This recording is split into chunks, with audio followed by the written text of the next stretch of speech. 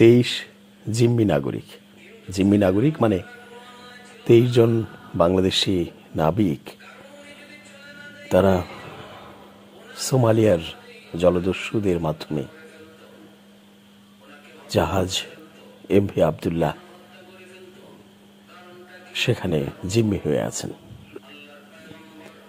এবং তাদের ঈদ কেটেছে সেই জিম্মি দশা অবস্থায়। তাদের লাগেজগুলোতে কারও কারও লাগেজে পাঞ্জাবি ছিল। সেই পাঞ্জাবি বের করে তারা ঈদের দিনে পাঞ্জাবি পরেছে।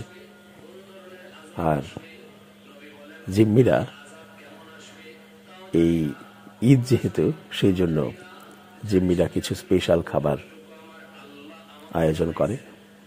সেখানে রান্না করে। রান্না করে সামুদ্রিক মাছ।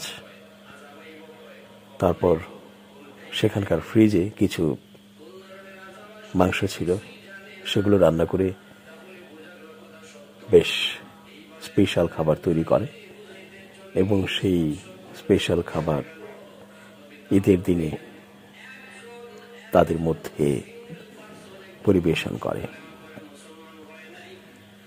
এইভাবে করে জিম্মিরা সহ অর্থাৎ তেইশ বাংলাদেশি নাবিক তারা এবং সোমালীয় যে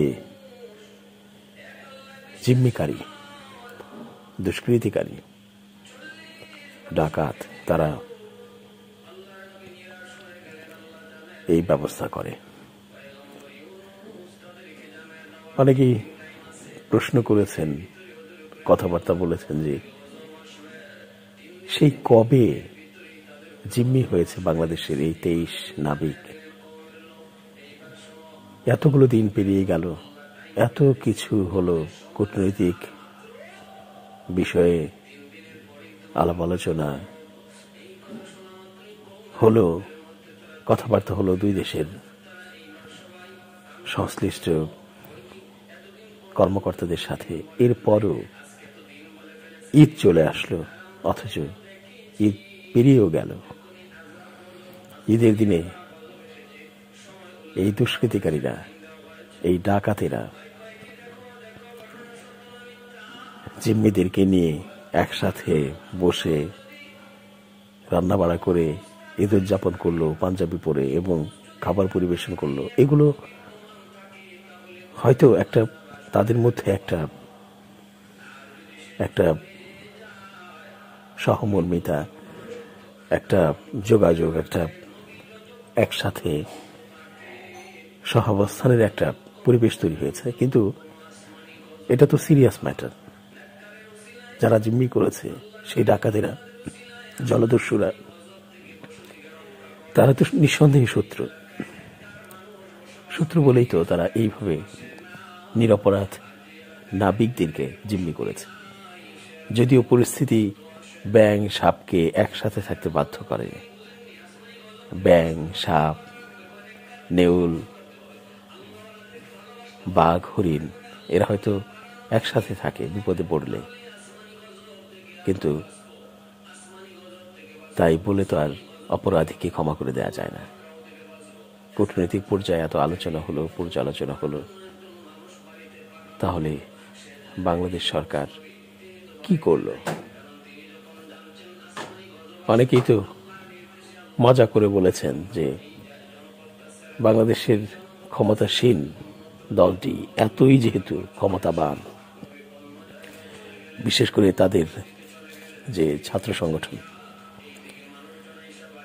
যুবলীগ, ছাত্রলীগ, এত ক্ষমতাবান।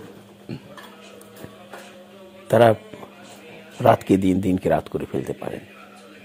অর্থাৎ তাদের সদস্যরা নেতা নেত্রীরা তাহলে এত ব্যাটাগিরি, এত মুন্সিয়ানা তাদের মধ্যে আছে, সফলতা বাগিয়ে আনার।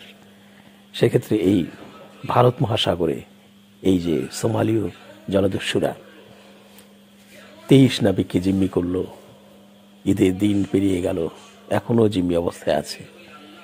তাদেরকে এতদিনে উদ্ধার করতে পারল না? এই সাধারণ কিছু সোমালীয় জলদস্যুদের কাছে এরা হেরে গেল। সুতরাং তাদেরকে পাঠান। তাদেরকে পাঠিয়ে ওই ভারত মহাসাগরকে তাদেরকে নিক্ষেপ করে দিন। এই ছাত্র সংগঠন দুটির নেতা নেত্রীদের। তাদেরকে নিক্ষেপ করে দিয়ে তাদেরকে যুদ্ধে অ্যাটাচ করে দিন। যুদ্ধের ময়দানে তাদেরকে ছুঁড়ে ফেলে দিন। এবং দেখতে থাকুন যে আসলে তারা কতটা লড়তে পারে, কতটা বুকের পাটা তাদের আছে, যে তারা রাতকে দিন দিনকে রাত করে ফেলে, মানুষের অধিকার হরণ করে, মানুষকে মারে, পিটায়, পিটিয়ে মৃত্যু উপহার দেয়। জিম্মি, অর্থাৎ আমাদের তেইশ নাবিক এবং জলদস্যুরা হয়তো মস্করা করেছে। এটা এক ধরনের মস্করা। তাদেরকে ছেড়ে না দিয়ে, তাদেরকে বিপদে ফেলে তাদেরকে রান্না করে খাওয়ানো, এটা একটা মস্করা নিঃসন্দেহে, প্রহসন উপহাস করা। কিন্তু এই যে কাণ্ড করল তারা, এই থেকে উত্তরণের পথ কে দেখাবে? সেই প্রশ্ন কিন্তু সবার মধ্যে আছে। এবং এটা যদি না করা হয় তাহলে এই তো বোঝাই যাচ্ছে যে ব্যাটাগিরি মুন্সিয়ানা দেখানোর যে বিষয়টা, সেটা আসলে বানোয়াট এবং সেটা হচ্ছে ভেতর থেকে না। ব্যাটাগিরিটা তো ভেতর থেকে আসবে, প্রতিবাদটা ভেতর থেকে আসবে, সংগ্রামটা ভেতর থেকে আসবে, সেটা ভেতর থেকে আসেনি আসলে, এটা আসলে বিভিন্ন সাপোর্ট নিয়ে এই ব্যাটাগিরিটা দেখাচ্ছে হচ্ছে এই সংগঠন দুটি। অর্থাৎ দেশের শৃঙ্খলা রক্ষাকারী বাহিনী। যাই হোক আমরা বলব যে ক্ষমতাসীনদের শুভ বুদ্ধির উদয় হবে এবং তারা খুব দ্রুত এই জিম্মি নাটক থেকে আমাদের দেশ, বাংলাদেশে নাবিককে উদ্ধার করে নিয়ে আসবে এবং জলদস্যুদের শাস্তি নিশ্চিত করবে।